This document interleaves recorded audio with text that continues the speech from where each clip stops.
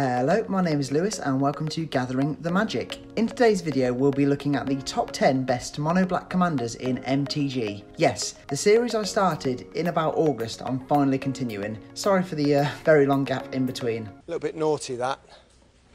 Out of order.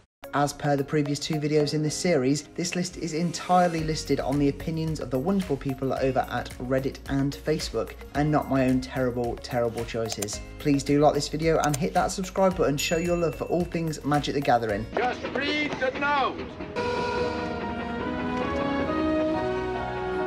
Now, let's get right into the list. Just making the list as the 10th best mono black commander, we have Yargle, Glutton of Urborg.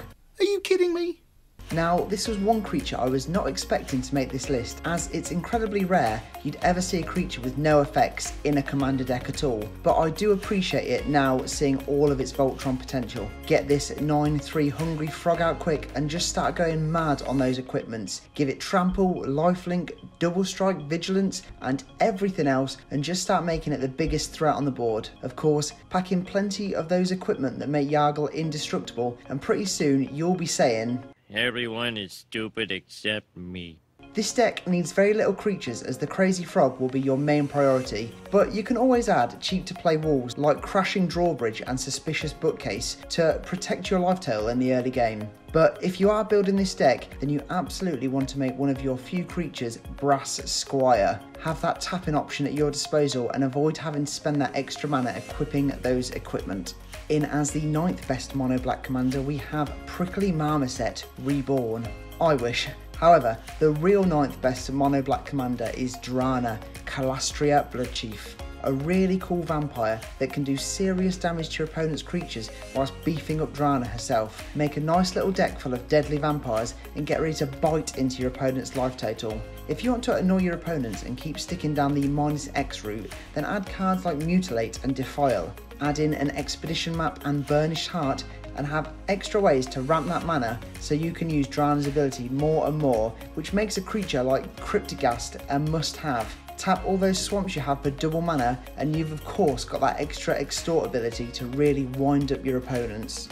For the 8th best mono black commander, we have Marrow What do you call a rat that lost its leg? A pirate. Yes, Terrible jokes aside, there's only one way we're going here, and that is Rat Tribal. Get in those beloved rats like Pat Rack and Rat Colony. Maybe whack in 10 rat colonies if you fancy it. Get in those rare non rat, rat loving cards like Piper of the Swarm and Rat Catcher. Give those rats menace and start tutoring for even more rats. A very popular and powerful deck that can get super wide and out of control before you know it. There are just so many rat options available too, which makes dealing with a deck like this really hard to do. The non-creature recommendations, you have to pop in the duo of Bontu's Monument and Skull Clamp. Make those black spells extra cheap and have Skull Clamp as that drawing card option as you'll be making so many rats you can afford to let a few go to the graveyard. But the patented Gathering the Magic Card of the Deck award has to go to Door of Destinies. Choose rat as the creature type and for each rat you play you'll be strengthening up your rat army even more. A powerful commander that Meme Master Steve over on our Instagram made as his very first commander deck. In as the seventh best mono black commander, we have Vito, Thorn of the Dusk Rose. A very cool commander and one I'd love to have for myself one day, but I think a reason it is so popular in this list is because of how new it is, being one of the cards from M21. And with old Vito, you know we're going super life gain. For creatures, mono black has so many that are cheap to play and have lifelink, so you know they're going straight in the 99. Get in those lifelink loving artifacts such as Staff of the Death Magus and Whip of Erebos and give all those creatures who don't have lifelink lifelink. Again, there are so many enchantments out there that give you that little bit of life which will trigger Vito. And obviously, if you really want to be that person, whack in that exquisite blood and sit back and watch the world burn. Just missing out on the top half of the list, at number 6 we have Tiny Bones, Trinket Thief. Discard is the name of the game with Tiny Bones. You want to make sure your opponents have zero cards so you can trigger Tiny's ability and make them lose 10 life each. Play cards like Necrogen Mists and Bottomless Pit, as well as Oppression and Cunning Lethemancer. Imagine being your opponent going to your upkeep knowing you're going to have to discard more cards than you're about to draw. It puts you at an added advantage as your opponents will hold off, not wanting to play too many spells as they won't want to whittle down their hand size to zero or near zero having more discard loving options like Painful Quandary and Megrim, and you'll be having so much fun. With creatures such as Mind Slicer and Fell Spectre, you'll be forcing your opponents to discard more and more, and if your opponents constantly have little to no hand and you're playing stuff constantly, then soon enough you'll be in a super powerful position and win the game. For the fifth best mono black commander, we have Skithiryx, the Blight Dragon, a really popular choice among the votes, and you can see why. With this poisonous dragon, you either want to create a deadly infect army or just go full on Voltron, or why not both? Black and Infect go hand in hand in MTG, and there are just so many options at your disposal for those poisonous creatures. Like I said, if you want to go Voltron, then Nightmare Lash and Lash Writhe are essential. Skithiryx is going to be so powerful as you only have swamps in mono black, and with only 10 poison counters needed to kill off your opponent, they could be gone in no time. Swords of Truth and Justice is a must have card in this deck. Go pro white and blue, get a plus one counter, and then proliferate. Deal more infect counter damage if you're just that little bit short. Fill your deck with the abundance of creature removal options available to clear out your opponents one at a time and create a clear path for Skitty to poison its way to victory. Narrowly missing out on the podium places, the fourth best mono black commander is Erebos, God of the Dead. Yes, the indestructible God of Death has many ways to make it an effective commander, and who doesn't love the phrase, your opponents can't gain life? We're going to be playing cards like Exsanguinate and Torment of Hellfire, playing an abundance of cards that makes our opponents lose life, and if we're feeling lucky, gain us a load of life too.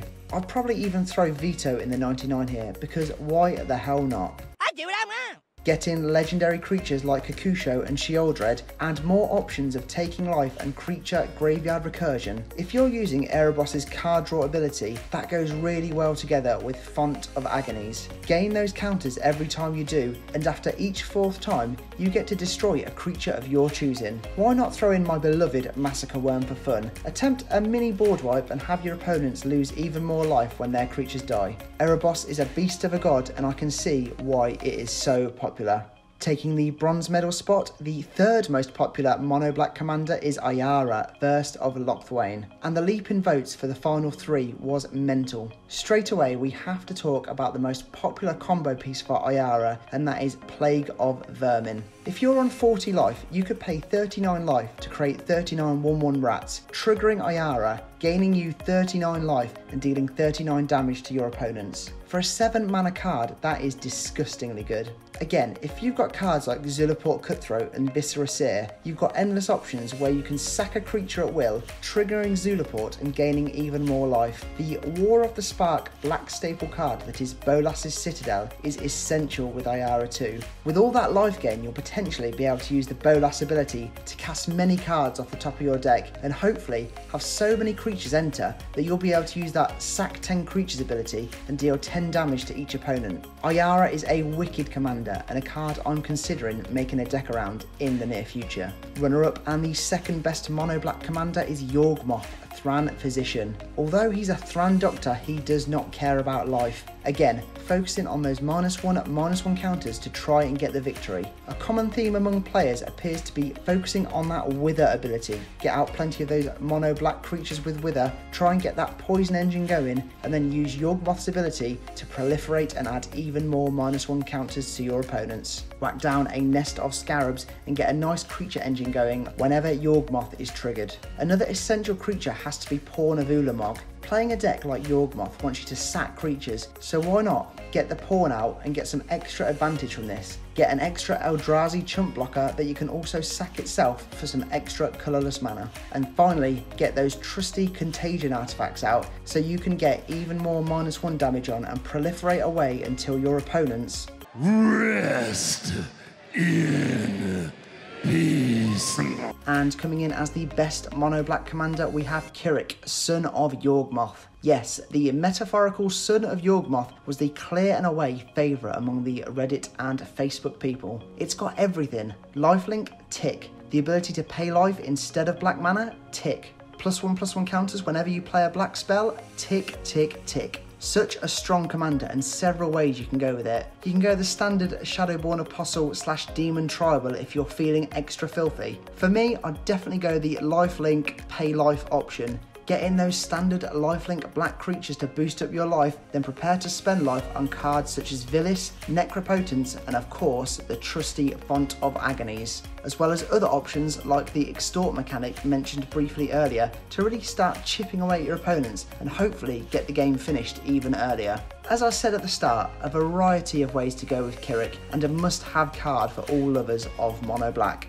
There we have it, that is the list. Any mono black commanders you think should have been in there? Let me know in the comments below. Don't forget to like this video and subscribe for all things MTG and check out the links to all of our socials in the description down below. For now, I'm all tapped out, so I'll see you in the next video.